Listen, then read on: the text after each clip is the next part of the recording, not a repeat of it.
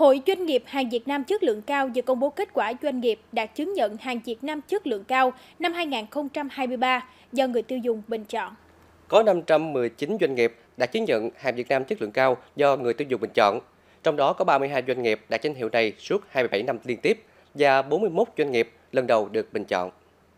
Kết quả ghi nhận trên 61.000 lượt bình chọn cho các doanh nghiệp từ khảo sát trực tiếp các điểm bán người tiêu dùng tại các thành phố trực thuộc trung ương, các trung tâm kinh tế của vùng miền Hà Nội, Đà Nẵng, Thành phố Hồ Chí Minh, Cần Thơ và khảo sát trực tuyến online thu thập ý kiến đánh giá bình chọn của người tiêu dùng trên phạm vi toàn quốc.